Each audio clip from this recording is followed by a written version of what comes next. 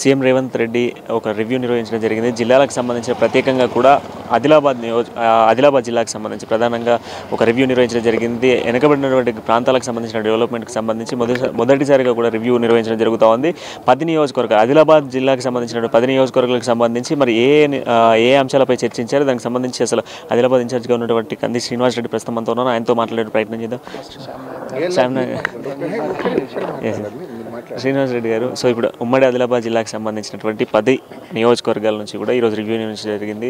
గెలిచిన నలుగురితో ఓడిన ఆరుగురితో కూడా ఇంక్లూడింగ్ అందరితో కూడా చర్చించడం జరిగింది. సో మరి ఏ అంశాలను తెరపైకి తీసుకొచ్చారు? ఏ డెవలప్మెంట్స్కి సంబంధించి మాట్లాడారు?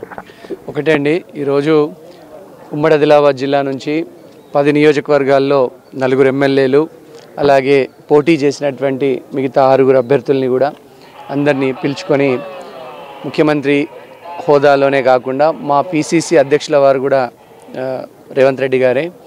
సో ఆదిలాబాద్లో అభివృద్ధి ఉమ్మడి ఆదిలాబాద్ జిల్లాలో అభివృద్ధి పనుల్ని ఏమేమి గత ప్రభుత్వం చేయలేనటువంటి పనుల్ని ఇంకా మనం ఎలా పూర్తి చేయగలుగుతాం ప్రజలలో ఎంత నమ్మకాన్ని తీసుకురాగలుగుతాం ప్రజాపాలన పట్ల కాంగ్రెస్ పార్టీ ప్రభుత్వం పట్లని ఒక గొప్ప ఇనిషియేటివ్ తీసుకున్నారు ముఖ్యమంత్రి గారు. దాదాపు అలాగే ఆదిలాబాద్ జిల్లాని దత్తత సీఎం గారు సొంతగా దత్తత తీసుకుంటా అని ప్రకటించడం జరిగింది ఈరోజు సమావేశంలో.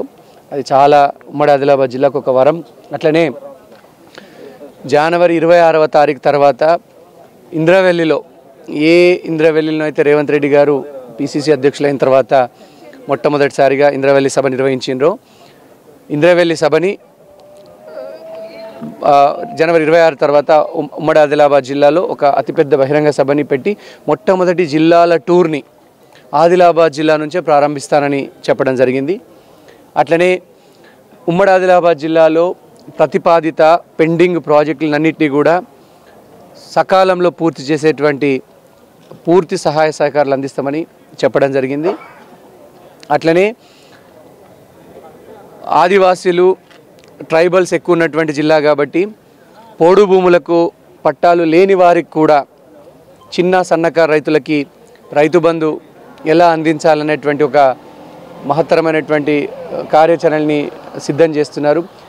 సంక్షేమ ఫలాల గురించి డెవలప్మెంట్ యాక్టివిటీస్ గురించి మమ్మల్ని అభిప్రాయాలు తీసుకోవడం జరిగింది. నిజంగానే రేవంత్ రెడ్డి అన్న ప్రజల ముఖ్యమంత్రి ప్రజా పరిపాలన మాకు చాలా చాలా సంతోషంగా అనిపించింది ఉమ్మడి ఆదిలాబాద్ జిల్లా నాయకులందరికీ కూడా. సో మేజర్గా ఇష్యూస్గా ఉన్నటువంటి గతంలో కానటువంటి ఏదైతే ఫార్టీ వన్ జియో కింద కూడా అనేక సమస్యలు ఉన్నాయి ఆదిలాబాద్. సో ఈ సమస్యకు సంబంధించి ఏమైనా తెరపైకి వచ్చింది? ఒకటండి ఉమ్మడి ఆదిలాబాద్ జిల్లా పది నియోజకవర్గాలలో ఎక్కడ ఏ చిన్న సమస్య వచ్చినా కూడా సెక్రటరియట్లో జనవరి ఇరవై ఆరవ తారీఖు తర్వాత సాయంత్రం నాలుగు గంటల నుంచి ఆరు గంటల వరకు అందుబాటులో ఉంటారు ముఖ్యమంత్రి గారు. సో తప్పకుండా ఎప్పుడైనా ప్రజా సమస్యల్ని తన దృష్టికి తీసుకురమ్మని చెప్పడం జరిగింది. సో మేము చాలా థ్యాంక్ఫుల్ చాలా కృతజ్ఞతలు చెప్తున్నాము ముఖ్యమంత్రి గారికి.